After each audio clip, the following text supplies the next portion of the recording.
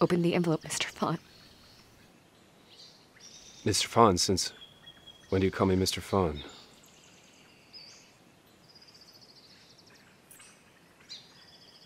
Fine. I'll open it.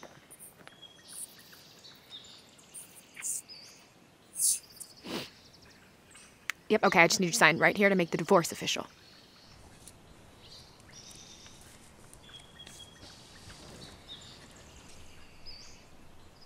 Divorce, Autumn? We just got married. I can't fucking divorce you.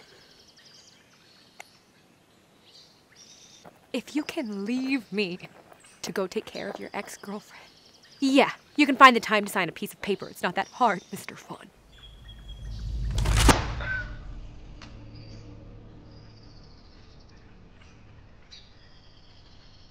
Our parents will never agree to this.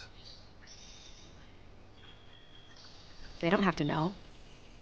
That's the whole point. We can live in the same house, pretend like we're married. Nobody has to know anything. Marriage is not a fucking joke, Autumn. Okay? Every moment that we had in that spring, that was meaningful. That meant something. It was a joke to you, Atticus! Their marriage, the spring, none of it meant anything to you. Did you see the article? You know, scandal between two brothers over one mate. The Fawns used me as Anya's replacement because you could never get over her.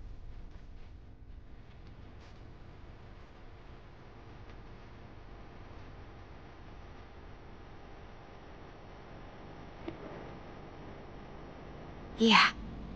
Paparazzi. That was me, crying after you abandoned me at the altar. Go help Anya. Oh, and as for the picture of you two hugging, I don't, I don't even know when that one happened because you did it so many times. Autumn. Oh, and the recording. Oh, I might as well just go hand that to the press if Anya hasn't already done so. I didn't know about that recording until you sent it to me, okay? That Is wrong. your own business. You keep in mind that I am not the one that disrespected you every step of the way. So please, just sign the papers.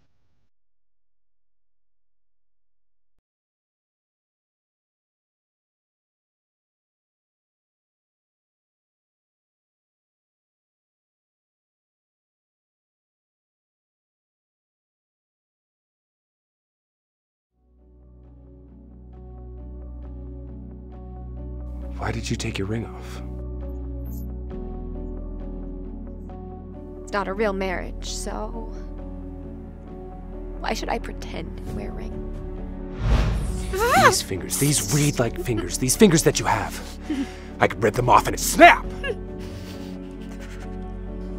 You do not own my body! And you do not own my soul. We are two equal beings standing at Moon Goddess's altar. You may have had my heart, but my soul is going to follow the moon's guidance, okay? I can't do. it.